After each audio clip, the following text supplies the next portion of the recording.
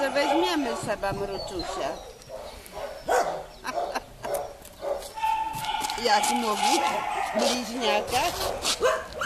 Ty, ale one są nawet, nawet wiekiem.